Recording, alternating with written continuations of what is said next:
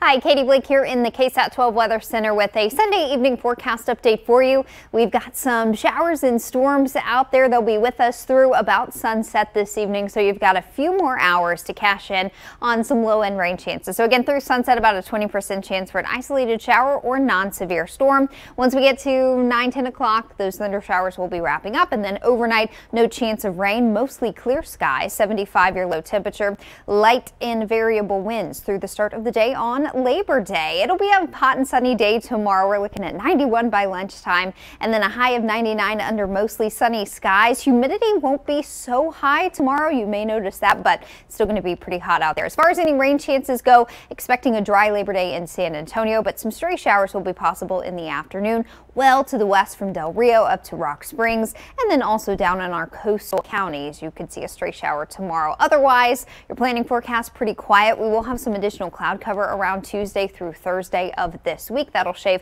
a couple of degrees off of our high temperatures. Looking ahead to next weekend, staying hot with highs in the upper 90s near 100. Have a great rest of your weekend.